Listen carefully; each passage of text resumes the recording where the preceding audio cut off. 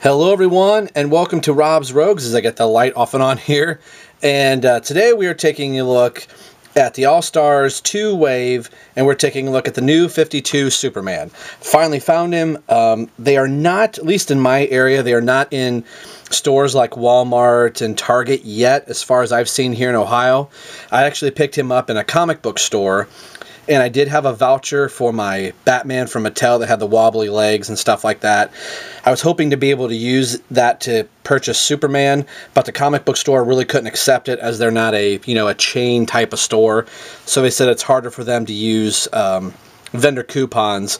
So I actually used that on some other figures. Uh, this past week I bought six DCUC figures, so I've got a ton of figures to review today as long as my camera battery holds out. So, uh, this is the last figure I'm picking up in the wave. I've already reviewed Batman and Red Robin and then Superman here today. I am not going to pick up Superboy Prime in this wave.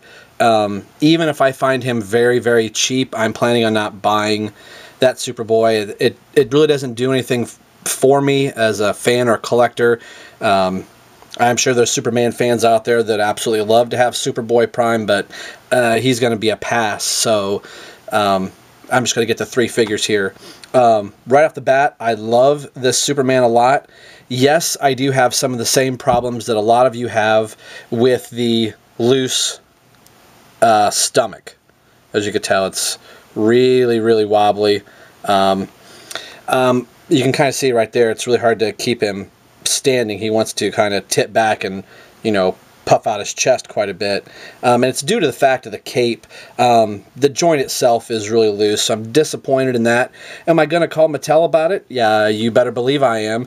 Um, my Superman head is not, it's a little wobbly, as you can kind of see here, maybe a little bit. Um, but he does stay in, stay where you put it.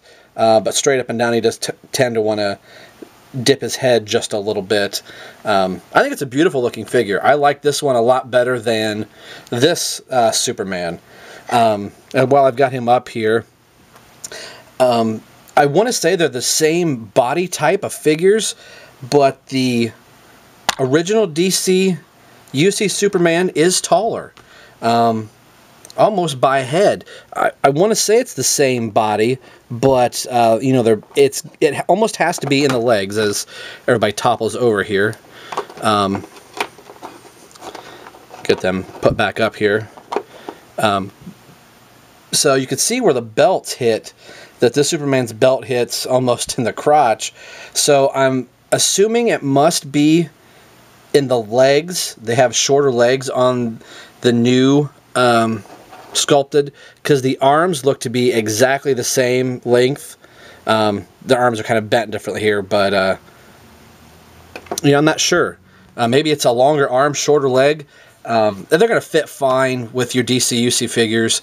Um, so I've got the box back here. Let's get through the box really quick. Um, we'll raise the camera. It's depicting, uh, we'll turn the light off here so I don't blind the uh, artwork out too much. But showing the uh, picture here, the same box that we've had for quite a while from the classics. Um, instead of the muted blue um, on the logos of the heroes that go right here, um, it's now a full color.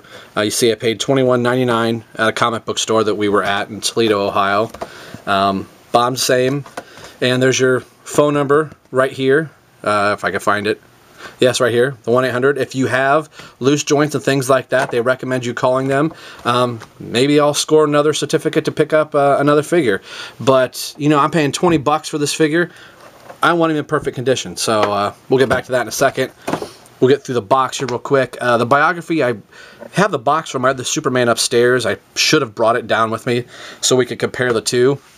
But it says the biography rocketed to Earth from the doomed planet Krypton. The infinite Kal-El was adopted by kindly Kent family of Smallville, Kansas.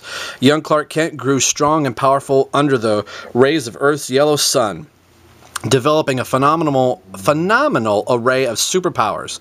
In adulthood, Clark would use these abilities as Superman, championing the virtuous truth, justice, and the American way, while keeping his secret uh, his secret, his true identity as crusading reporter for the great Metropolitan newspaper. Hopefully I didn't botch that too much.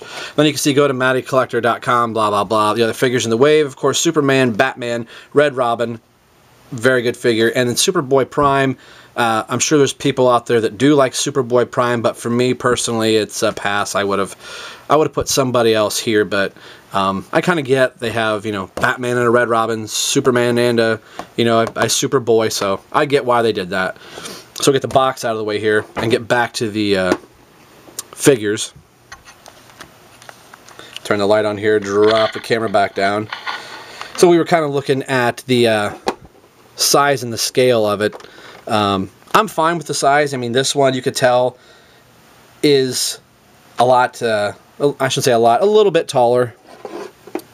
Same exact cape, so you do have the toppling backwards effect uh, going on from time to time. And as you could tell, my Superman here with the joint that bends backward be backwards because the weight of the cape, um, he does stand funny. You don't notice it too much up front. I can get him in that pose a little bit, but the, a little bump from the table does send him back.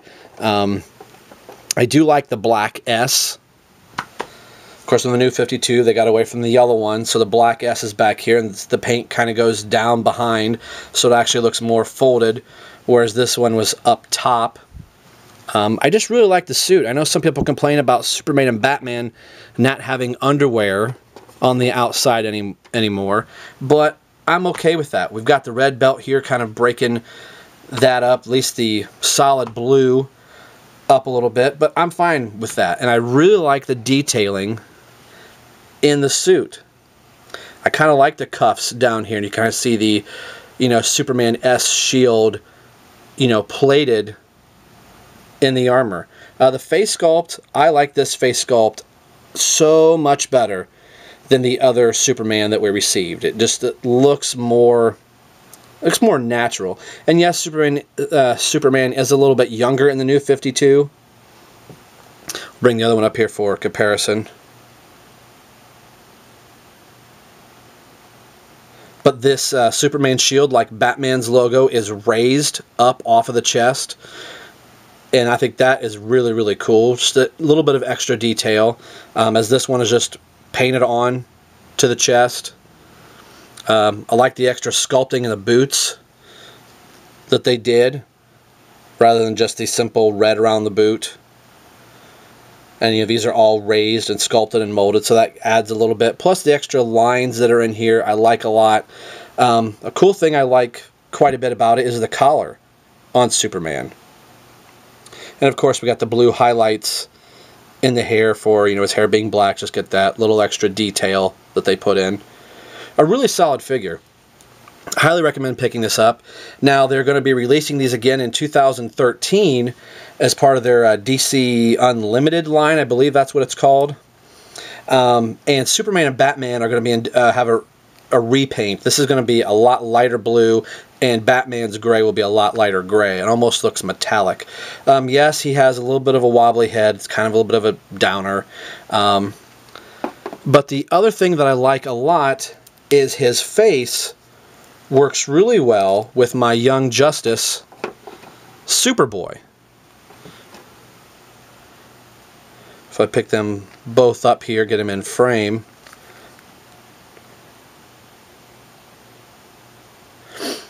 And uh, I think they both work very, very well together and almost looks like this is the clone of this Superman as opposed to, you know, this one where their face sculpts were almost completely different.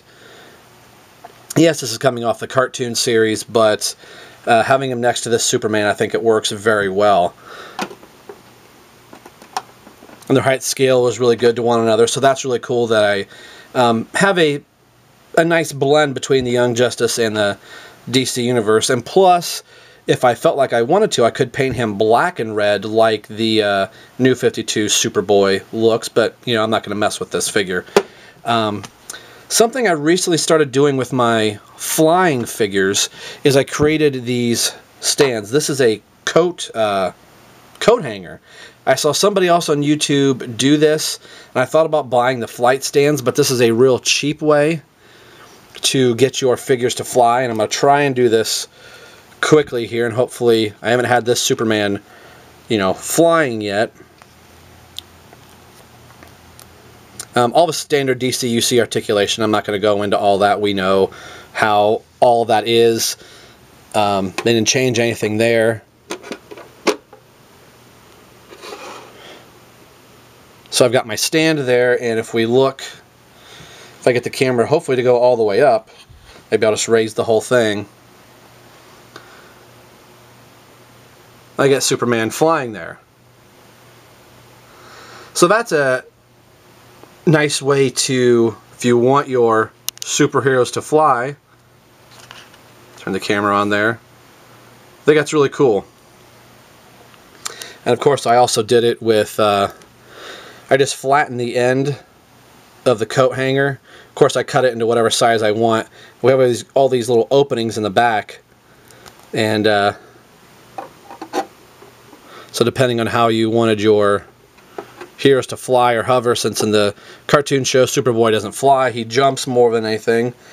Kind of got him like that, and if you had some other heroes, you could kind of hide the coat hanger, so to speak. Um, I think it works pretty good. This is a little extra thing I wanted to kind of share with you here on YouTube. I saw somebody else on YouTube do, so I took this a page out of their book. But we'll get Superman down here real quick. And uh, we'll bring up Red Robin. Hopefully. Work with me. And Batman. So these are the ones from this line I am going to pick up. Um, I highly recommend it. Um, so that's going to do it for this video. This has been Rob for Rob's Rogues signing off and saying we will see you guys next time.